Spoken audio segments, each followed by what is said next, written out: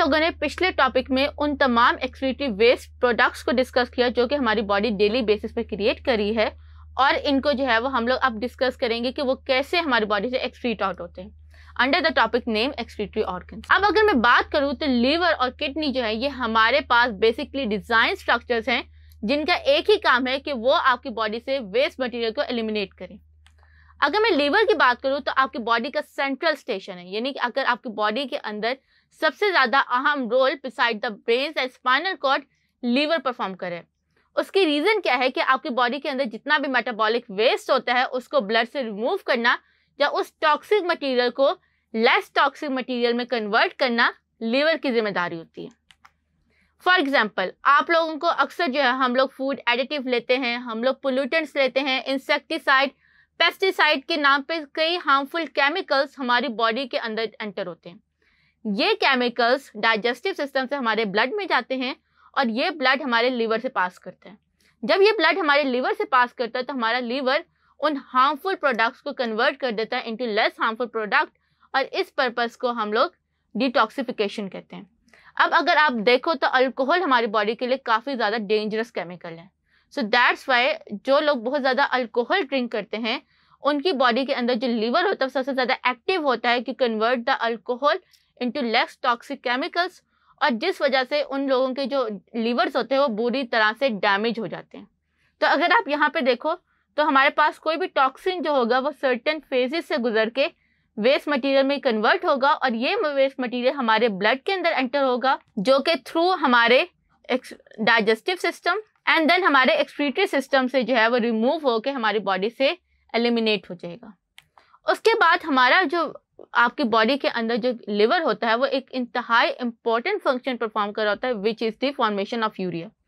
अगर आप देखो तो हमारी बॉडी के अंदर सर्टेन अमीनो एसिड्स जो होते हैं वो प्रोड्यूस होते हैं और हर अमीनो एसिड अगर हम अपनी बॉडी में स्टोर करेंगे तो हमारी बॉडी में हार्मफुल होता है।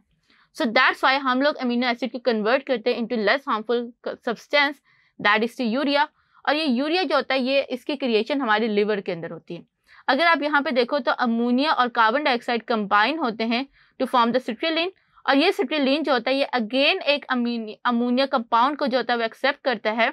टू फॉर्म द आर्जिनिन और फिर ये आर्जिनिन जो होता है, ये फर्दर हमारी बॉडी के अंदर जो होता है, वो यूरिया क्रिएट करता है और ये यूरिया वाटर के अंदर डिजोल्व होकर हमारे ब्लड में जाता है, जो कि फाइनली किडनी से रिमूव होकर यूरिन की फॉर्म में हमारी बॉडी से एक्सक्रीट आउट हो जाते हैं।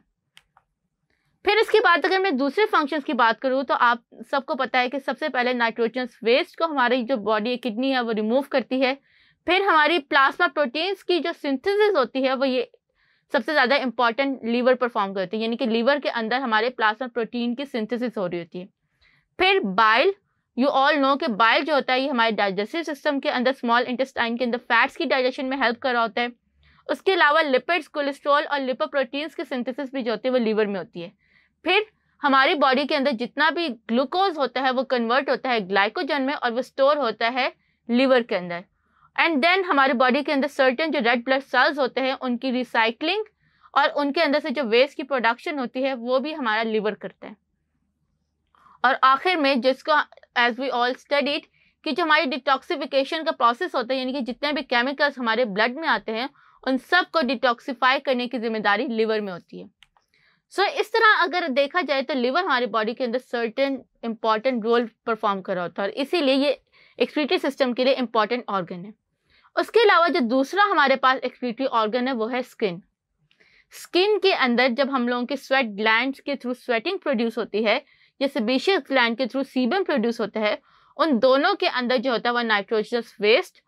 और जो है वो सर्टन वेस्ट मटेरियल्स जो होते हैं वो मौजूद होते हैं। इवन जब हम लोग मेडिसिन लेते हैं तो हमारी मेडिसिन आपने अक्सर देखा होगा कि जो लोग बहुत ज़्यादा मेडिसिन लेते हैं, उनके स्वेट में एक सर्टन टाइप की स्मेल होती है। वो स्मेल इसलिए होती है क्योंकि हमारी जो मेडिसिन का जो वेस्ट मटेरियल होता है, वो हमारी किडनी के साथ साथ हमारी स्किन के अंदर से भी एक्सक्रीट आउट हो रहा होता है from with the sweats so that's why जो लोग बहुत ज़्यादा मेडिसिन लेते हैं, उनके स्वेट में एक स्पेसिफिक स्मेल आती है। इसी तरह अगर आप यहाँ पे देखो तो हमारी स्किन के अंदर जो स्वेट ग्लैंड है, वो भी एक्सक्रीटरी ऑर्गन के तौर पे एक्ट करता है, लेकिन मेजर नहीं है, क्योंकि जस्ट फाइव परसेंट एक्सक्रीशन जो होते हैं, वो इससे होती है। उसके अलावा जो हमारे पास सबीशियस ग्लैंड होता है, वो भी सीबडम की प्रोडक्शन के साथ साथ हमारी बॉडी के अंदर कुछ एक्सक्रीटिव मटेरियल को भी हमारी बॉडी से एक्सक्रीट आउट कर होता है। सो दैट्स वाई हम ये भी कह सकते हैं कि हमारी जो स्किन होती है, वो थर्मल रेगुलेशन के साथ साथ एक्सक्रीशन का परफॉर्म फ़ंक्शन भी जो होता है, वो परफॉर्म कर होती है। तो इस तरह से जो लीवर होता है, वो हमारी बॉडी के अंदर बहुत ज़्यादा इंपॉर्टेंट एक्सक्रीशन के फ़ंक्शन जो होता है, वो परफॉर्म कर रहा होता है। In the next topic we will discuss कि जो किडनीज होती हैं, वो आपकी बॉडी के अंदर कौन कौन से फ़ंक्शंस परफॉर्म करिए